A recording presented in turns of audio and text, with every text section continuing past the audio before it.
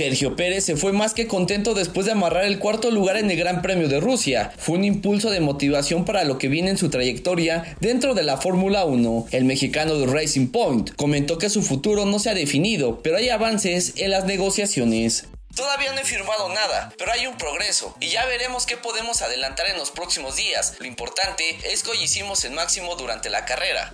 El GP de Rusia se lo llevó Valtteri Bottas de Mercedes, seguido de Max Verstappen de Red Bull y Lewis Hamilton de Mercedes. El tricolor se quedó a 8 segundos del inglés, muy cerca del podio, además de que le sacó 12 a Daniel Ricciardo de Renault.